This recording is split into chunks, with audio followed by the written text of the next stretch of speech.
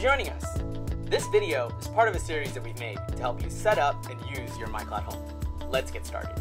In this video, you'll learn how to share content saved on your MyCloud Home with your friends and family. The MyCloud Home mobile app enables you to share a file or a folder with just two taps. Simply tap on the overflow icon at the bottom right hand corner of the screen. This brings up the option menu. Then tap on Share Link. The device will generate a link that you can then send or post using your favorite applications. I'll send this photo to a friend using iMessage. You'll notice that a preview is generated so the recipients can view the share without having to open the link.